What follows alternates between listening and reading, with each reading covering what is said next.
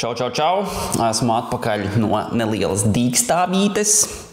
Un šodien apskatīsimies uh, pēc uh, kāda laika, jau nu, kā nākamnedēļ notiekošu uh, UFC eventu, kas būs UFC 251 Usmans pret Gilbertu Burns. Tātad galvenā cīņa kopumā tur būs trīs titulu cīņas. Tad pats pasākums notiks 11. jūlijā, naktī no sestdienas uz svētdienu. Prelims sāksies vienos naktī, main card, jeb galvenais tad, pasākums 5 no rīta pēc mūsu laika. Cīņas notiks daudz izreklamētajā UFC Fight Island, jeb principā vienkārši Abu Dabī, kur jau iepriekš ir notikuši UFC pasākumi. Tur pēdējais bija Pagājušā gada septembrī uh, Habibs Nurmagomedovs pret Dustinu Porie cīnījās. Uh, tā kā nu, gluži ekskluzīva jauna lieta tā nav, bet nu, pasnieguši viņi ir tādā jaunā uh, ietērpā, teiksim tā. Uh, Tātad piecas cīņas ir mainkārdā. Kopumā tur ir uh, 13 cīņas, uh, apsīsimies vairāk to mainkārtu. Tātad uh, pirmā cīņa ievadošā būs Amanda Ribas pret Paige Van Zandt. Uh, 1,10 koeficients uz Amanda Ribas, 6,50 uz Paige Van Zandt. Uh, manuprāt, lai arī nu, kā, teiksim, šī, šīs abas cīkstonas, uh, Van Zanta ir uh, daudz zināmāka, viņa tomēr ir arī uh, ārpus UFC piedalījusies dažādos pasākumos, kā tur Dancing with the Stars, ja nemaldos, uh, tur, kur, uh, vai kā viņi sauc precīzi. uh, bet uh, tātad, uh, tur, tur, tur viņi tādu vairāk savu atpazīstamību ieguva. Uh, šī gan uh, Viņai ir pēdējā cīņa viņa, viņas UFC līgumā. Viņa ļoti, vismaz intervijās, izteicās, ka ir uh, Uh, gatava uh, notestēt teikt, brīvo aģentu tirgu. Uh, kā, nu, es domāju, šī cīņa viņai ir divi tik svarīga, lai nu, kā, uz labas nots varētu parādīt gan UFC, gan arī citiem konkurentiem, ka nu, viņi tomēr ir tāds svarīgs vārds MMA. Amanda Rības savukārt ir nu, tāda jā, ar jaunu hypu, teiksim tā, nāk, nāk iekšā. Kopumā šī viņai jau būs ceturtā cīņa UFC. Iepriekš visas trīs ir bijušas uzvaras. Skaidrs, ka, nu, manuprāt, favorītam viņai vajadzētu būt, bet vai tik lielai, nu, to es īsti nezinu. Manuprāt, šāds tāds vēl jo ir uz peidžu. Un, Es noteikti šajā cīņā atbalstīšu underdogu. Nākamā cīņa ir Jessica Andrāža pret Roznama Junas. 2,55 uz Andrāžas koeficients un 1,50 uz Rozu.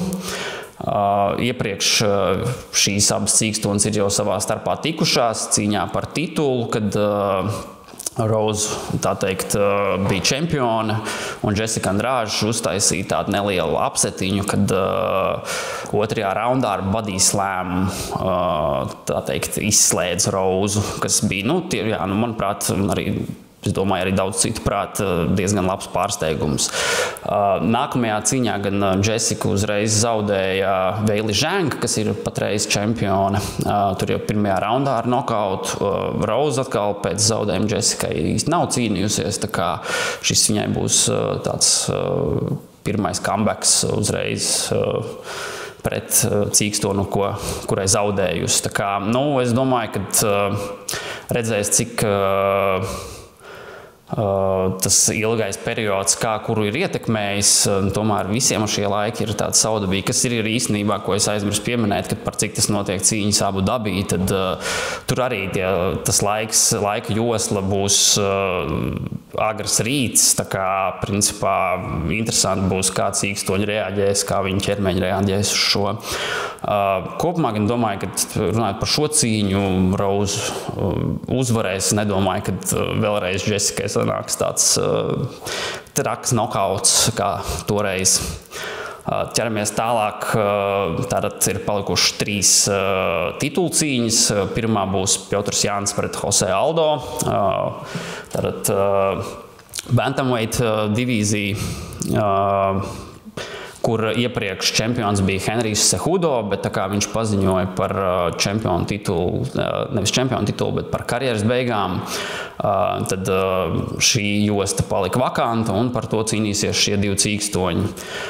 Ja Aldo savulaik ir bijis čempions divīzijā augstāk, 145, tātad pound divīzijā. Uh, nu, Jans teiksim, ir jauns un tā kā cīkstons. Uh, iedevuši Aldo, manuprāt, ir uh, šo cīņu par iepriekšējiem nopelniem, jo nu, teiksim, 100, 135 poundu divīzijā šī būs viņa otrā cīņa. Pirmo viņš uh, principā ar tiesnešu lēmumu zaudēja Marlonam Marāješam iepriekš. Uh, Jānis savukārt jau nu, principā, visu savu karjeru cīnās šajā divīzijā, ir lielisks boxers. Ir arī iepriekš šie cīkstoņi kopā trenējušies. Nu, tas gan bija labi laika atpakaļ. Tur ļoti daudz to vērā nevajadzētu, es domāju, ņemt. Un, uh, nu, manuprāt, uh, Aldo vairāk tā, tā karjera iet jau uz beigu posmu, Jānis atkal jauns, uh, izsalcis. Es domāju, ka uh, būs ļoti interesanti tāda stand-up cīņa, uh, kur nu, redzēs, es domāju, ka Jānis uzvarēs. Nonākam pie komēna eventa. Aleksandrs Volkanovskis pret Maksu Holloway. Bija iepriekšējā cīņa, kur viņi savā starpā cīnījās ļoti lieliski. Tur Volkanovskis diezgan pārliecinoši pēc tiesnešu punktiem uzvarēja. Ar decision visi trīs tiesneši deva 30, 27 viņam par labu. Uh, redzējis, uh, koeficients ir 1,48 uz Volkanovski, 2,60 uz Maksu Holloway. Uh, manuprāt, diezgan adekvāti.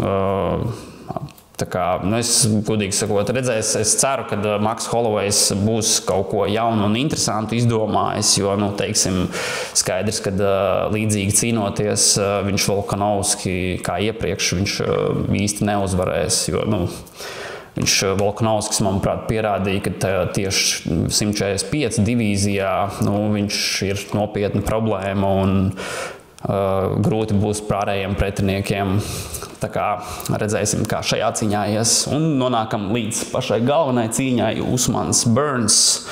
Uh, divi ļoti lieli monstri savā ziņā. Uh, Usmans tātad turpina dominēt welterweight divīzijā, un pretiniekos viņam šoreiz stāsies Cīkstons, kas nāk no viņa paša treniņa kampa. Viņi kopā jau ilgu laiku trenēju, trenējās, sparingojuši un, un, un cīņām speciāli gatavojušies. Ir labi kā paziņas, draugi. Tā kā interesanti būs redzēt, kā šajā ziņā attīstīsies gan arī visu nedēļu uz priekšu, ejot, ka viņiem būs jātiekās vienam ar otru, gan arī nu, cīņas laikā, kā tas notiks. Jo nu, Usmans gan speciāli priekš šīs cīņas viņš ir gatavojies nevis ierastajā savā Floridā, kā, kur viņš arī uzturās, bet speciāli devās pie tāda trenera Trevora Whitmana, kurš ir diezgan zināms treneris, kurš ikdienā trenē tādus cīkstoņus kā Justins Geičī, Roznama Junas un uh, citus. Tā kā uh, speciāli uz šo cīņu būs pamainījis kaut ko redzēs, kā tas iespaidosies uz cīņu. Jo, nu, principā, tad koeficienti ir 1,40 uz Kamaru Usmanu, 2,85 uz Gilbertu Burns. Es domāju, ka Usmans noteikti ir adekvāti novērtēts kā favorīts, jo nu, kā, tas čalis šobrīd, es domāju, tādā divīzijā nu, grūti, grūti atrast tādu tiešām uh, vienlīdzīgi pretinieki. Viņam Burns gan ir, protams, arī ļoti labs un uh, kā nekā vairāk kārtais arī jiu-jitsu čempions uh, uz zemes. Ļoti prasmīgs čalis ir arī spēks dūrēs. Redzēs, uh, kā ies pret uh, Usmanu, bet nu, es domāju, Usmans tomēr ir uh, tāds savā ziņā frīks. Uh, citā, no citas dimensijas. Tā. tā kā es šajā, uzvarā, šajā cīņā izvēlos Usmanu uzvaru vēl joprojām un kļūt par, tā teikt, turpināt būt par čempionu. Tas arī viss par šo eventu. Paldies, ka skatījāties, rakstat komentārus, laikojat. Viss čau!